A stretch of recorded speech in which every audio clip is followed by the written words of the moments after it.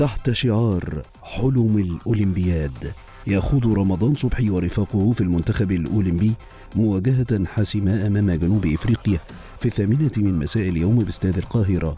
وذلك من أجل الفوز وضمان الصعود لأولمبياد طوكيو 2020 بعد تصدر الفراعنة الصغار للمجموعة الأولى وتحقيق العلامة الكاملة. وذلك وسط أداء وروح جذبت جميع المصريين خلفهم. من أجل حلم الأولمبياد. المنتخب الأولمبي يخوض أهم مبارياته ببطولة كأس الأمم الإفريقية تحت 23 سنة ضمن مباراة الدور قبل النهائي التي تحدد الفريق المتأهل لأولمبياد طوكيو 2020 للفريق الفائز. بينما ينتظر الخاسر مباراة لتحديد المركزين الثالث والرابع ليتأهل الفائز فيها للأولمبياد حيث تنص اللوائح على تأهل ثلاثة منتخبات إفريقية إلى الأولمبياد. شهدت الساعات الأخيرة جلسات نفسية من شوقي غريب المدير الفني للفراعنة مع اللاعبين. طالبهم بضرورة التركيز في اللقاء والتحذير من سيناريو المنتخب الأول الذي خسر أمام جنوب إفريقيا في دور الستة عشر. وذلك بهدف في الدقائق الخمس الأخيرة خاصة وأن المنتخب المنافس يجيد اللعب على العامل النفسي.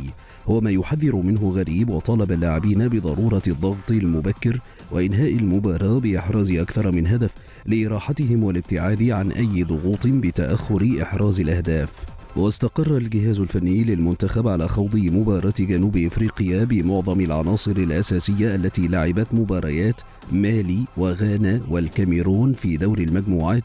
وسيتم إجراء تغيير وحيد على الخطة ألا وهو الدفع بعبد الرحمن مجدي في مركز الجناح الأيمن على حساب صلاح محسن بعد الأداء المميز لعبد الرحمن مجدي في المباريات التي لعب بها.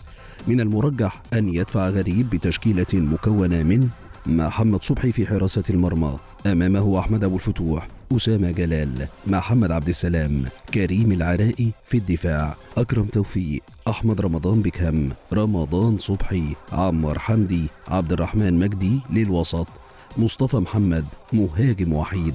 التدريبات الأخيرة للمنتخب الأولمبي شهدت تدريبات خاصة للمدافعين للتعامل مع الكرات العرضية التي يجيدها المنتخب جنوب إفريقي.